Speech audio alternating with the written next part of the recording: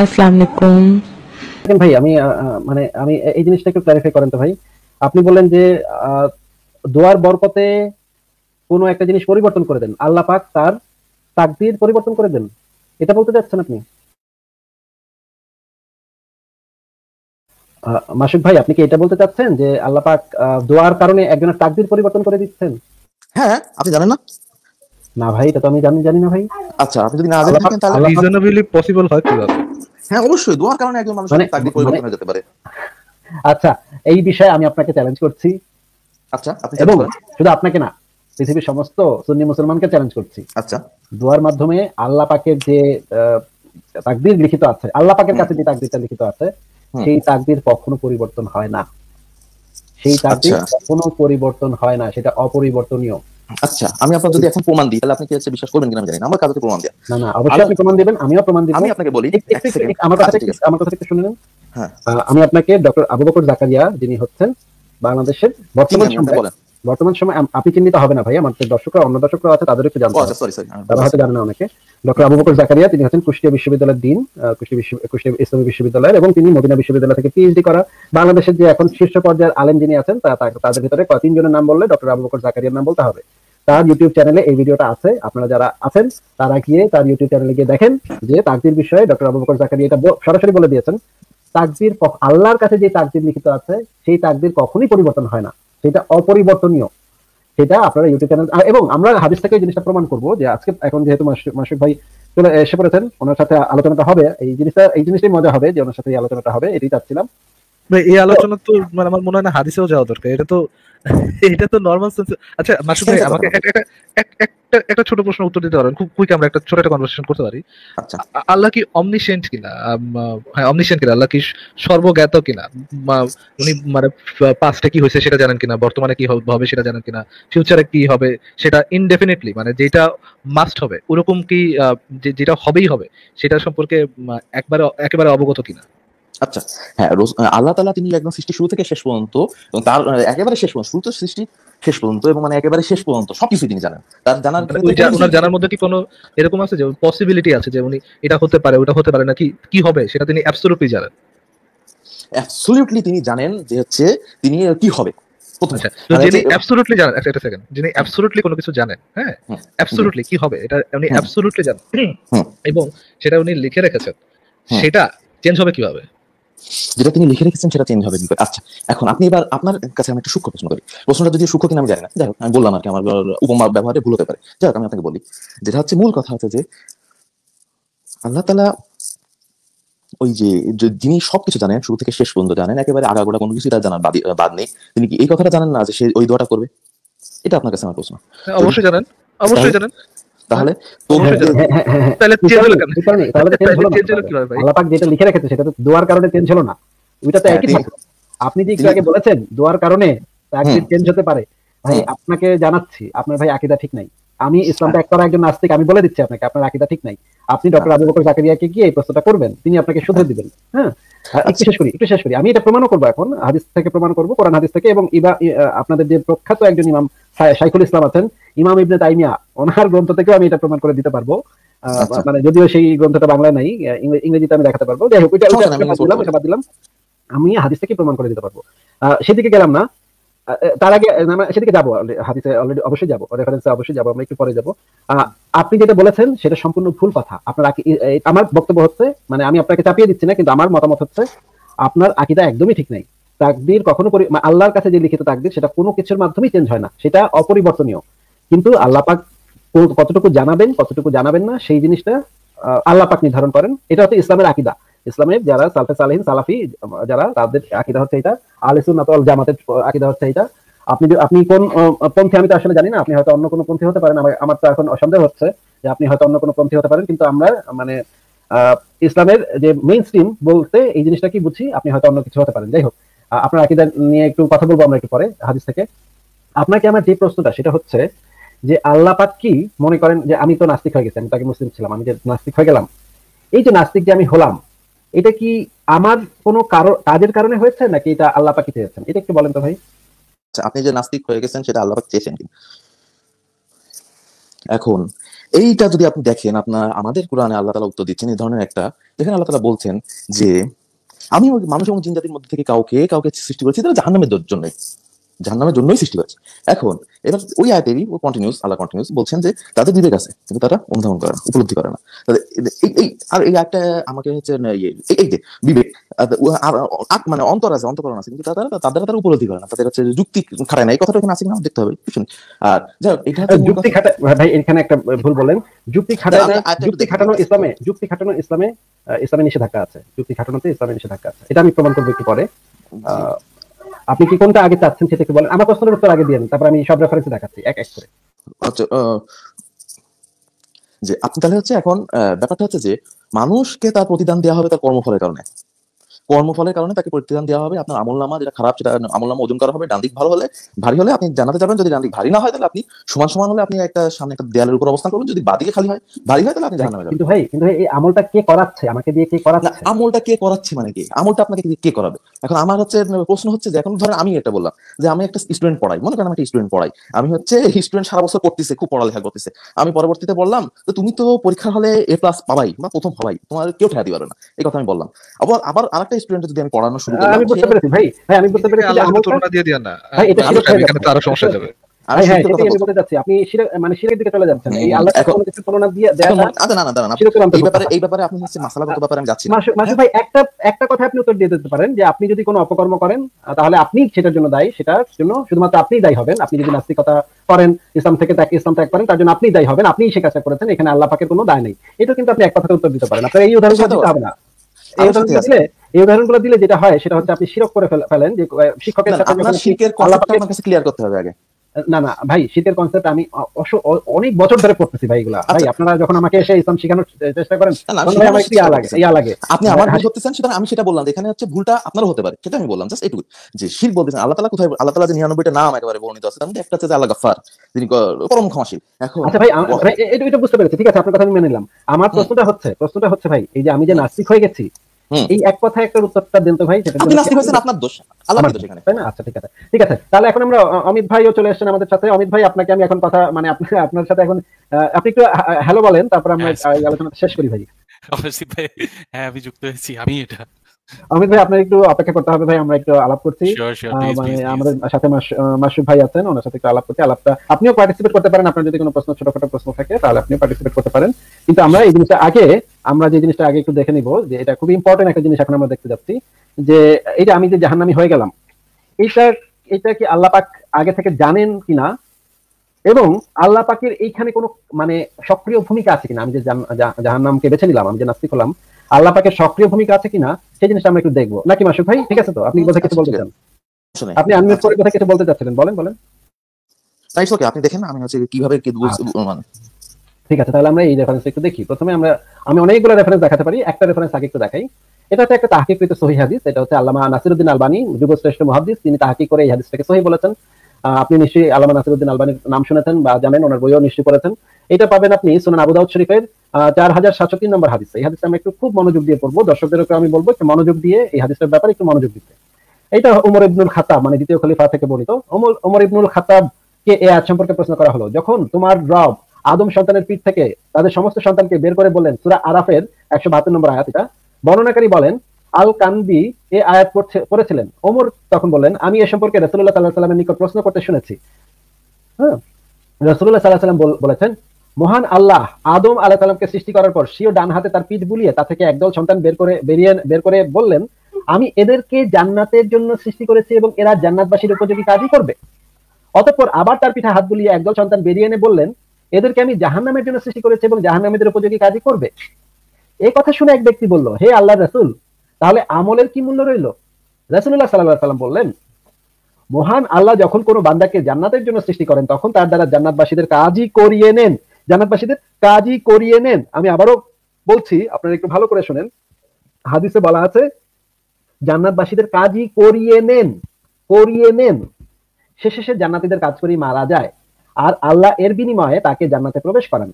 আর যখন তিনি কোনো বান্দাকে জাহান্নামের জন্য সৃষ্টি করেন, তখন তার দ্বারা জাহান্নামীদের কাজ করিয়ে নেন। জাহান্নামীদের কাজ করিয়ে নেন। অবশেষে সে জাহান্নামীদের কাজ করে মারা যায়। অতঃপর এই জন্য তাকে জাহান্নামে প্রবেশ করান। এটা হচ্ছে এক নম্বর রেফারেন্স দেখালাম। আরও এই যে এটা একদম সরাসরি বই থেকেও দেখাচ্ছি। যে দেখেন বই থেকেও আমি দেখাচ্ছি। এটাও আছে। এরপরে একটা একটা করে একটু দেখাই আরও কয়েকটা একটু দেখাই। এটা হচ্ছে সহি বুখারি তাহিদের তাহিদ পাবলিকেশন ছয় হাজার পাঁচশো ছিয়ানব্বই নম্বর হাদিস। তিনি বলেন প্রতিটি লোকই ওই আমল করে যার জন্য তাকে সৃষ্টি করা হয়েছে অথবা যা তার জন্য সহজ করা হয়েছে। এটা এত ইম্পর্টেন্ট না। আহ, এইটা ইম্পর্টেন্ট হচ্ছে। এখানে বলা হচ্ছে কোন ব্যক্তি তার আমলের বিনিময়ে জান্নাতে যাবে না। এটা হচ্ছে সহি মুসলিমের ইসলামিক ফাউন্ডেশনের ছয় হাজার আটশো বান্ন নম্বর হাদিস। এখানে বলা হচ্ছে কোন ব্যক্তি তার আমলের বিনিময়ে জান্নাতে যাবে না বরং জান্নাতে যাবে আল্লাহর রহমতের মাধ্যমে। মানে আমল কোনো বিষয় না আসলে না আল্লাহ যাকে চাবেন তাকে সেটা সেটার আরও রেফারেন্স আমি দেখাবো। এই রেফারেন্স আগে একটু দেখে নেন। এটার সাথে সম্পর্কিত আরও অনেকগুলো রেফারেন্স আছে। মানে এটা দেখেই আপনারা ভাববেন না যে এটা, এটাই একটা শুধুমাত্র একটা রেফারেন্স এটার সাথে সম্পর্কিত আরও কয়েকটা জিনিস দেখাবো আমি, যদি সময় থাকে। সাইদ আবু হুরায়রা থেকে বর্ণিত? রাসূলুল্লাহ সাল্লাল্লাহু আলাইহি তোমাদের মধ্যে এমন কোনো ব্যক্তি নেই যার আমল তাকে জান্নাতে দাখিল করাতে পারে। এই যে, তোমাদের মধ্যে এমন কোনো ব্যক্তি নেই যার আমল তাকে জান্নাতে দাখিল করাতে, করতে পারে। অতঃপর তাকে প্রশ্ন করা হলো, ইয়া রাসূলুল্লাহ, আপনিও কি নন? তিনি বলেন হ্যাঁ আমিও নই। তবে আমার পালনকর্তা যদি অনুগ্রহের দ্বারা আমাকে আবৃত করে নেন মানে আমল এখানে কোনো বিবেচ্য বিষয় না। আল্লাহ পাক তার কোরআনে অসংখ্যবার বলেছেন, আমি যা ইচ্ছা তা করি, আমি যা ইচ্ছা তা করি। আচ্ছা এই এই জিনিস, এই কয়েকটা রেফারেন্স দেখালাম। এই কয়েকটা রেফারেন্স সম্পর্কে আপনাদের মতামত একটু শুনে তারপর আমি পরের রেফারেন্সগুলো আবার একটু দেখাবো। আপনারা বলেন তাহলে। আচ্ছা আমি দেখলাম। আমার আপনি, আমি আপনার হচ্ছে রেফারেন্সের সাথে আরও একটা রেফারেন্স যোগ করে দিচ্ছি। যেখানে আল্লাহ তালা বলছেন যে আল্লাহ তালার সম্মত হাদিসে করছি আমি হচ্ছে ওখানে আল্লাহ বর্ণিত আছে এরকম ধরনের যে হচ্ছে মানুষ আল্লাহ আল্লাহ মানুষ যেসব ইবাদত করে, তার মধ্যে তার কাছে আল্লাহ কাছে সবচেয়ে প্রিয় হচ্ছে সেই ইবাদত যেগুলো মানে যেগুলো ফরজ করা হয়েছে তার। এরপরে সে নফল করতে থাকে করতে থাকে করতে থাকে, এক সময় সে আল্লাহর প্রিয় হয়ে যায়। এমন প্রিয় হয়ে যায় কি? আল্লাহ তালা তার হাত আল্লাহ তালার হাত হয়ে যায়। তার কান, যা সে ধরে, তার কান আল্লাহ তালা হয়ে যায়। যা সে শোনে যা তার চোখ আল্লাহ তালা হয়ে যায়, যা সে যা দ্বারা সে দেখে, এটা একেবারে সহি টন্ডনে হাদিস? রিয়াজ সলিনের মধ্যে আছে। ইমাম নবী এটা কোট করছেন। একেবারে হচ্ছে আপনার তাহিক আলবানি মানে ইমাম নাসির নাসিরুদ্দিন আল আলবানি এটা তাহিক করে সহি বলছেন। একেবারে টন্টনে সহি হাদিস, কোনো সমস্যা নেই। আমি আপনার কথাকে আরও যোগ করলাম। কিন্তু কথা হচ্ছে যোগ করলে যে আপনার এটা হচ্ছে মানে আপনি যেটা যেই পয়েন্টটা প্রুভ করতে চাচ্ছেন, তা যে এটা দিয়ে প্রমাণ হচ্ছে, এমনটা না? হ্যাঁ আপনি যেটা বলছেন, আল্লাহ যা ইচ্ছা তাই করেন, সূরা বুরুজের মধ্যে আল্লাহ তাআলা বলেন ফাআলুল লিল মা- লিমা ইউরিদ তিনি যা ইচ্ছা তাই করেন। হ্যাঁ এখন তার, আবার অন্য জায়গায় বলা হচ্ছে তাকে, যে এরকম বলা হচ্ছে যে তুমি আল্লাহকে তোমাদেরকে প্রশ্ন করা হবে, আল্লাহকে প্রশ্ন করা হবে না। তাকে প্রশ্ন করা কেউ নেই। তোমাকে বরং তোমাদেরকে you will be questioned so যখন এই কথাগুলো প্রমাণিত হয়, তখন একটা মূলনীতি আমরা ধরে নিলাম যে আল্লাহ যা ইচ্ছা তাই করেন। এখন আবার আপনাদের ওই হাদিসে ফিরে যায় যেখানে আপনি কোর্ট দেখাচ্ছেন ভাই আমাদের হাদিস কেন ভাই বললেন? এটা আপনাদের আপনি যেটা আমাদের হাদিস হচ্ছে আমি আপনি শো করলেন সেই হিসেবে আপনাদের হাদিস বললাম আমি। এটা কিছু ভুল মনে করেন না। এই খুঁটো খুঁটিনাটি বিষয়গুলো ধরা আপাতত দরকার নেই। কারণ ওইটা সহি হাদিস আমি জানি ওই হাদিস আমি নিজে পড়ছি আপনারা আমাকে দেখানো লাগবে না। হচ্ছে মানে ওই ভাই অন্য অন্য অনেক দর্শক হয়তো দেখেন এই হাদিসটা তাদের আমি আবারও বলে দিচ্ছি যে আপনার সাথে যে আমরা আমি শুধু কথা বলছি তা কিন্তু না। এখানে অসংখ্য দর্শক আছেন তারাও একটা নতুন জিনিস জানলো একটা হাদিস জানলো। আচ্ছা ঠিক আছে। না আপনি মুখে বললেও হতো সমস্যা নেই। এটা আমরা কখনো করি না ভাই। আমরা মুখে মুখে বলি না। আমরা সরাসরি রেফারেন্সটা দেখি। যদি আমাদের কাছে রেফারেন্স না থাকে তাহলে আমরা সেই দাবিটা করি না। আচ্ছা, যতক্ষণ পর্যন্ত। আমার কাছে ভ্যালিড রেফারেন্স ভ্যালিড এভিডেন্স না থাকবে ততক্ষণ পর্যন্ত আমরা সেই দাবি করবোই না। এটা আমাদের আচ্ছা, নীতি। আমরা আচ্ছা শেষ থেকে শুরু করি সেখানে শেষে যে হাদিসটা আল্লাহ দেখা আপনি দেখালেন ওই হাদিসটা আমি পড়েছি যেখানে আল্লাহ রসুল বলছেন যে হচ্ছে কেউ তার আমলে বিনিময় জানাবে না না ওই যে আপনি আমাকে সেটার সেটার কথাটা একটু বলেন। যে জাহান্নামীদের কাজই করিয়ে নেন জান্নাতীদের কাজই করিয়ে হ্যাঁ। নেন এটা কিন্তু আল্লাহ পাক এখান থেকে বোঝা যাচ্ছে আল্লাহ পাক যে শুধুমাত্র জানে তা কিন্তু না। আল্লাহ পাক সচেতন ভাবে কাউকে কাউকে দিয়ে যাদেরকে তিনি জান্নাতের জন্য সৃষ্টি করেছেন তাদেরকে তিনি তাদেরকে দিয়ে তিনি জান্নাতিদের কাজই করিয়ে নেন। যাদেরকে জাহান জাহান্নামের জন্য সৃষ্টি করেছেন তাদেরকে দিয়ে জাহান্নামীদের কাজই করিয়ে নেন। এই জিনিসটা একটু বলেন আপনি। আচ্ছা এটাই তো উনি আল্লাহ যে কোনো মানুষকে যদি এখন এটা সূরা ইউসুফের আরেক জায়গায় বর্ণিত আছে। সূরা ইউসুফ ইউসুফ আলাইহিস সালামের কল থেকে বর্ণিত আছে যে প্রত্যেকটা every soul is persistent enjoiner of evil সূরা ইউসুফের 53 নম্বর আয়াতে আপনি যে দেখবেন পারসিস্টেন্ট এনজয়নার ইভিল প্রত্যেকটা প্রাণী প্রত্যেকটা নাফসি একেবারে ক্রমান ক্রমাগত একেবারে পুরো consistent persistent enjoiner of evil ইভিলের enjoiner এখন ভাই ভাই আমি না আমি আমি ভাই বুঝতে পারছি না আপনি কি উত্তর দিচ্ছেন বুঝতে পারছি না। আপনি আবার আবার আবার প্রশ্নটা আবার করি। ফারাজ ভাই আমি না ওনার উত্তরটা বুঝতে পারছি না এই কারণে অনেক আপনি বুঝতে পারছেন না আপনি একটু একটু ধৈর্য ধরে শুনলে সুবিধা একটু- একটু মাসুক ভাই একটু একটু মাসুক ভাই। ভাই সরি আমি পানি খেতে গেছিলাম তো আমি সব শুনিনি আমি ফারুক ভাই আমি আপনাকে বলি যে উনি আমাকে বললেন যে আমি যদি কোনো অন্যায় করি আমি যদি কোনো অপকর্ম করি একটু আগে উনি এই কথাটা বলেছেন যে আমি যে ইসলাম ত্যাগ করে এখন নাস্তিক হয়ে গেছি এই যে এইটার জন্য সমস্ত দায় হচ্ছে আমার আসিফ। মহিউদ্দিন হচ্ছে সেটার জন্য দায়ী। এটা হচ্ছে না আল্লাহ পাকের কোনো ভূমিকা নাই। তিনি বলেছেন পরিষ্কার ভাবে বলেছেন তিনি আল্লাহ পাকের এখানে কোনো ভূমিকা নাই। তারপরে হ্যাঁ, আমি তারপর আমি ওনাকে কয়েকটা। রেফারেন্স দেখালাম কয়েকটা রেফারেন্স দেখালাম। একটা রেফারেন্স হচ্ছে এরকম আল্লাহ পাক যাদেরকে জান্নাতের জন্য সৃষ্টি করেন তাদেরকে দিয়ে জান্নাতীদের কাজই করিয়ে নেন। যাদেরকে আল্লাহ পাক জাহান্নামের জন্য সৃষ্টি করেন তাদেরকে দিয়ে আল্লাহ পাক জাহান্নামীদের কাজই করিয়ে নেন। এটা কিন্তু এমন না যে আল্লাহ পাক শুধুমাত্র জানে। তিনি সচেতন ভাবে কিছু কিছু মানুষকে দিয়ে জান্নাতীদের কাজ করান আর সচেতন ভাবে কিছু কিছু মানুষকে দিয়ে জাহান্নামীদের কাজ করান এবং জাহান্নামে প্রবেশ করান। এখন আমি যে প্রশ্নটা করেছিলাম যে আমি যে ইসলাম ত্যাগ করে নাস্তিক হয়ে গেলাম মুরতাদ হয়ে গেলাম এবং ফর এক্সাম্পল আবুল আহাব আবুল আহাব। যে- আবুল তার কাছে কোনো আহাব- অপশন ছিল না। আপনার আপনি নিজের কথাই ধরেন না কেন? আপনি তো আপনি আবুল আহাবের থেকে কম? আপনি আবুল না, না, আহাবের থেকে কম না। আমার কথা তো কোরআনে আসে নাই। যদি আবুল আহাব কোনোভাবে এই কাজটা মানে ওই অপশনটা থাকতো তার কাছে ফ্রি উইলটা থাকতো যে সে আহ, আহ, ধর্মে ব্যাক করবে এরকম ফ্রি উইল যদি থাকতো তাহলে তো কোরআনে তার কথা লেখার কোনো যৌক্তিকতা ছিল না। কোরআনে যেহেতু লিখে দেওয়া হয়েছে। ঠিক আছে তাহলে আবুল আহাবের উদাহরণটা তুললাম আমরা। আবুল আহাবকে তো আল্লাহ পাক তো সৃষ্টির সময় সে জাহান্নামের জন্য সৃষ্টি করেছে। তার পক্ষে তো কোনো অবস্থা এবং তাকে দিয়ে আল্লাহ পাক জাহান্নামীদের কাজই করিয়ে নিয়েছে। এখন এইটা কীভাবে উনি প্রথমে বলেছেন যে আমি যদি কোনো আকাম করি নাস্তিক হয়ে যাই মুরতাদ হয়ে যাই ইসলাম ত্যাগ করি এটার জন্য সম্পূর্ণ দায় আমার এটার পেছনে আল্লাহ পাকের কোনো ভূমিকা নাই। এটার জন্য সমস্ত দায়ী আমি। কিন্তু এখন আমরা দেখতে পাচ্ছি আল্লাহ পাক সক্রিয় ভূমিকা পালন করেন। কাউকে কাউকে দিয়ে জাহান্নামীদের কাজ করেন কাউকে কাউকে দিয়ে জান্নাতীদের কাজ করেন। এবং আবুল আহাবের জিনিসটা তিনি আগে থেকে সিদ্ধান্ত নিয়ে দেখছেন আবু লাহাবকে মানে একটা বাটা ফেলবেন। আবুল লাহাব কোনো চয়েসই নেই তার কাছে কোনো বিন্দু মাত্র কোনো চয়েস ছিল বেচারা আবু লাহাব মানে বাটে পড়ে গেল সে। আমার প্রশ্নটা হচ্ছে এইটা, যে এইটার জন্য কি আমি দায়ী বা আবুল হাব দায়ী, নাকি আল্লাহ পাকি সেটা করিয়ে নিয়েছে?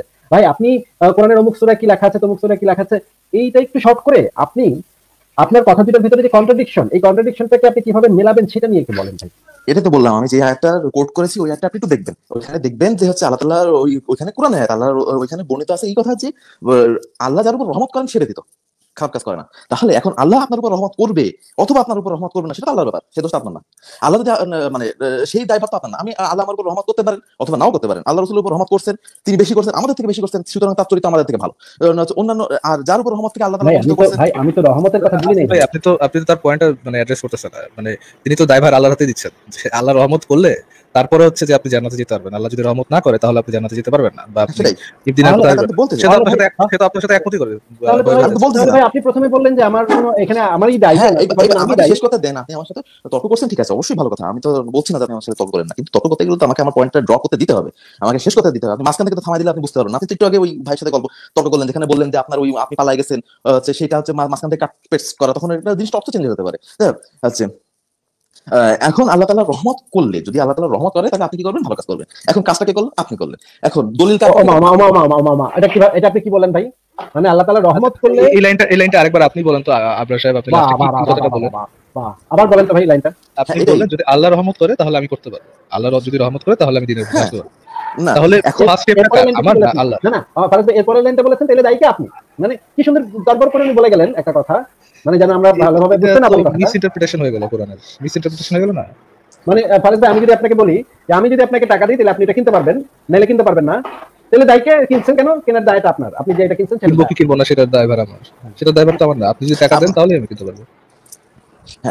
এখন মনে করেন যে আমি একজনকে হাদিয়া দিলাম পাঁচশো টাকা। সে হাদিয়া দিয়ে সে পাঁচশো টাকা দিয়ে মদ কিনে খাবে। এখন এইটা হচ্ছে ব্যাপারটা এরকম যে আল্লাহ তালা রহমত করলে আপনি ভালো কাজ করতে পারবেন আপনার রহমত আল্লাহ তালা রহমত না করলে আমি আপনাকে যে হাদিসটা দেখিয়েছি সেখানে শুধু রহমত না আল্লাহ পাক জান্নাতীদের কাজ করিয়ে নেন সেটা বলা আছে ভাই। সেটা করিয়ে নেন তো তা সেটা তো বলতেছি আমি যে তিনি না না না এমন না যে এমন না যে আমি আপনাকে আমি ফারাজ ভাইকে পাঁচশো টাকা দিলাম শুধু এটাই না আমি ফারাজ ভাইকে দিয়ে পাঁচশো টাকা দিয়ে উনি কি কিনবেন? সেই কাজটাও কেনাটাও করিয়ে নিয়েছি। পাঁচশো টাকা দেয়াটা এবং ওই পাঁচশো টাকা দিয়ে উনি কোন জিনিসটা কিনবেন সেই কেনানোটা করিয়ে নেওয়াটা একটা একটা মজার জিনিস কি জানেন? আপনি যখন বললেন যে পাঁচশো টাকার কথাটা আহ, এটার সাথে তুলনা কি দিলেন? আল্লাহর রহমতের বিষয়টা। এখন আল্লাহর রহমত দিয়ে তো আমি মত খাব না রাইট আল্লাহ যদি রহমত করে তাহলে তো আমি এটা দিয়ে মত খাব না আমি এটা দিয়ে দিনের কথা। তো জিনিসটা ডিপেন্ড করতেছে আল্লাহ যদি আমাকে রহমত করে তাহলে আমি কিসে যাব? দিনের কথা যাব। তাহলে তো প্রি কন্ডিশনটা কোথায়? প্রি কন্ডিশনটা হচ্ছে আল্লাহর রহমতের উপর ডিপেন্ড করতেছে নট আমার কাজের উপর ডিপেন্ড করতেছে। প্রথম কাজটা বা প্রথম স্টেপটা হচ্ছে আল্লাহ। সেইটার দায়ভার তো আপনি আমার উপর দিতে পারতেছে না। যেখানে প্রথম স্টেপটা হতে হবে আল্লাহ হ্যাঁ এটা তো আমি বলতেছি তো। আর এটা তো আমি আমি কেন বলতেছি? আচ্ছা, আপনি এই- পয়েন্টের সাথে একমত যে দিনের পথে আসতে হলে প্রথম স্টেপটা আল্লাহকে দিতে হবে। যদি দিনের হ্যাঁ। তার মানে দিনের পথে যে যাবে না তারও প্রথম স্টেপটা আল্লাহ নেয়নি দেখে সে দিনের পথে যাচ্ছে না। তার মানে এখানে তো আসিফ মহিউদ্দিন যে নাস্তিক হয়েছেন সেটা তো আপনি যে বললেন যে তিনি তার দায়ভার এই কথার সাথে তো কন্ট্রাডিক্টরি হয়ে গেল আপনার পজিশনটা এখন। এখন হয়ে যাচ্ছে যে আল্লাহ যেহেতু আসিফ মহিউদ্দিনের উপর রহমত করেন এবং আমার উপর রহমত করেনি সেহেতু সেহেতু আমি এবং আসিফ মহিউদ্দিন সাহেব আমরা দুজন নাস্তিক হয়েছি। হ্যাঁ তাহলে আপনার প্রথম ক্লেমের সাথে আপনার এখনকার পজিশনটা কি হলে? কন্ট্রাডিকশন হয়ে গেল।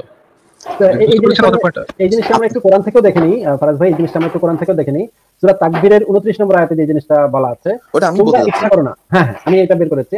তোমরা ইচ্ছা করো না যদি বিশ্ব জগতের পালন প্রতিপালক ইচ্ছা না করেন। আর মানে আলবায়ন ফাউন্ডেশনের অনুবাদে বলা আছে আর তোমরা ইচ্ছা করতে পারো না যদি না সৃষ্টিকুলের রব আল্লাহ ইচ্ছা করেন। মানে আমরা যে দিনের পথে আসার জন্য ইচ্ছাটা করব। ইচ্ছাটা এমনকি ইচ্ছাটাও যে করব। পড়াটা তো দূরের কথা ইচ্ছাটাও আল্লাহর উপরে নির্ভরশীল। আল্লাহ পাক যদি না চান আমরা ইচ্ছাটাও করতে পারব না। তাহলে ভাই আমি যে নাস্তিক। হলাম এটার জন্য দায়ী কে? আমি নাকি আল্লাহ আবারও প্রশ্নটা করছি? আচ্ছা অদ্ভুত ব্যাপার। আপনি হচ্ছে যে জিনিসটা একটা সাধারণ ব্যাপার আপনি কেন বুঝতেছেন আল্লাহ জানে? হচ্ছে যে জিনিসটা হচ্ছে আল্লাহ বলছেন যে তোমরা আমরা তোমরা ইচ্ছা করো না যতক্ষণ না পর্যন্ত আমি ইচ্ছা করি রব্বুল আলামিন। তখন হচ্ছে নে, এই- কথাটা আল্লাহ বলছেন সূরা তাকবীরের লাস্টের আয়াতে। একদম সত্যি কথা আমি হচ্ছে আপনাকে বলতাম আপনি না দেখানোর আগে আপনি সময় দিলেন বলতাম। এখন আপনি যে ইচ্ছা করবেন না সেটা হচ্ছে আল্লাহ আপনি ইচ্ছা করলেন না ভালো কথা। কিন্তু হচ্ছে আপনি যে ইচ্ছা করলেন না আপনি ভালো পথে তার আল্লাহ ইচ্ছা আমি কীভাবে করব? আল্লাহ পাক বলে দিচ্ছেন ইচ্ছাটাও আমি করতে পারব না তো। সেই আল্লাহ পাকের। নির্দেশ ছাড়া তো ইচ্ছাও করতে পারব না। না পারবেন না তো। হ্যাঁ সেটা তাহলে সেটা দায়টা আপনি যে আগে বললেন আমি যে নাস্তিক আছি এটার দায় সম্পূর্ণ আমার। এটার পিছনে আল্লাহ পাকের কোনো দায় নাই। আপনার কথাটা এবং দুইটা এই জন্যই- কথা হলো না? এবং এই জন্য তিনি তো কিন্তু আমরা এটা থেকে- আ- আবার এটা সাহেব, থেকে এবং মুক্ত হয়ে গেছে। তিনি আবার এই সাহেব, দাবি এই- থেকে- না না না মু- মুক্ত হয়নি মুক্ত হয়নি আপনি মনে হয় আবার আবার ইনকনসিস্টেন্সির দিকে একটু আগাচ্ছেন। আহ, এই জন্যই কিন্তু আমাদের কাছে এই জিনিসটা ডিফিকাল্ট আপনারা রেফারেন্স দেখাচ্ছেন একটা রেফারেন্স বলতেছেন ঠিকই, যেটা লেখা আছে সেটা বলতেছেন, কিন্তু ওটা থেকে আমাদেরকে কনক্লুশন দিচ্ছেন একটা ডিফারেন্ট জিনিস। প্রথম প্রথম কন্ডিশনটা প্রি কন্ডিশনটা কাজ আছে প্রি কন্ডিশনটা যাচ্ছে আলাপাকের, যে উনি যদি ইচ্ছা করেন, তাহলে আমাদের এই ইচ্ছাটা হবে যে দিনের পথে আমরা যেতে পারব। উনি যদি ইচ্ছা না করেন, তাহলে আমাদের সেই ইচ্ছাটা আসবে না। মানে আমরা ডিপেন্ডেন্ট কিসের পরে আমরা ডিপেন্ডেন্ট আলাপাকের ইচ্ছার উপরে। যদি আল্লাপাকের ইচ্ছার উপরে আমরা ডিপেন্ডেন্ট হয়ে থাকি, তাহলে তো আপনি কখনোই আমাদেরকে বলতে পারেন না, কোনোভাবেই বলতে পারেন না যে আমরা নাস্তিক হয়েছি, এটার দায়ভার সম্পূর্ণ আমার।